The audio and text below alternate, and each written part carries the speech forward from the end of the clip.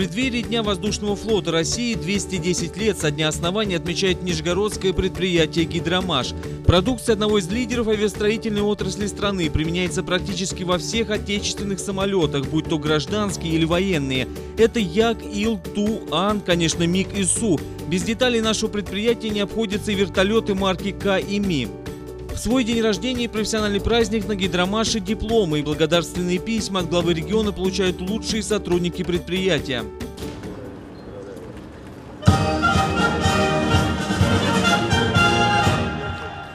Я работаю на предприятии 30 лет, и за это время завод очень изменился. Пройдя трудные 90-е годы, годы перестройки, завод начал активно реконструироваться, но вы сами были свидетелями, сколько станков новых появилось. Вот, соответственно, молодежь пришла, грамотная молодежь пришла, заказы увеличиваются. А раз увеличиваются заказы, значит зарплата, естественно, повышается. И люди очень заинтересованы работать на нашем предприятии. В этом году также несколько десятков сотрудников получают и служебное жилье. По словам молодых специалистов, такое подспорье вместе со стабильной зарплатой позволяет уверенно смотреть в завтрашний день и строить уже новые планы на будущее.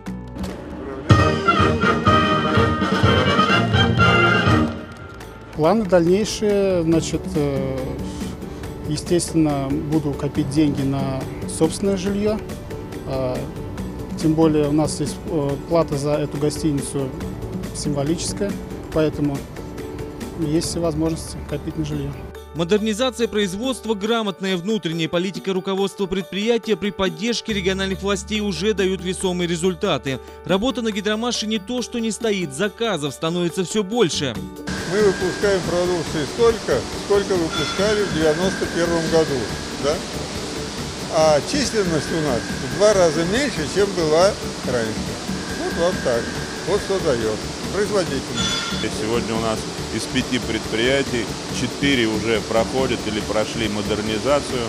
И э, это сразу отражается на результатах. Если говорить о гидромаше, то э, сегодня задача стоит, как освоить то, что от них сегодня требуют заказчики.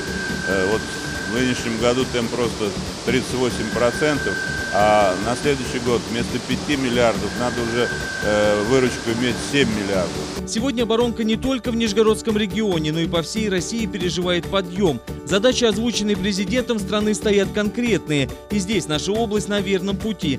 Только в этом году объем производства оборонных промышленных предприятий региона увеличится на 15%. Именно такую задачу за счет расширения рынка сбыта, продолжения модернизации производств и развития импортозамещения поставил губернатор Валерий Шанцев.